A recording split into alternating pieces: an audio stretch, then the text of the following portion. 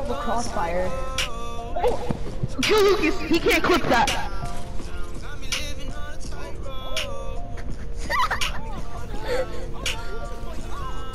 Nope, nope. Oh my goodness. Oh, you